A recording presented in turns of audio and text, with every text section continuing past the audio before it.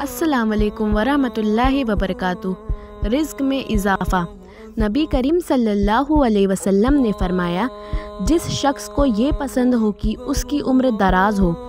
और उसके रिज़्क में इजाफ़ा हो तो उसे चाहिए कि वह अपने वालदेन के साथ नेक सलूक करे और उन पर सुलह रहमी करे।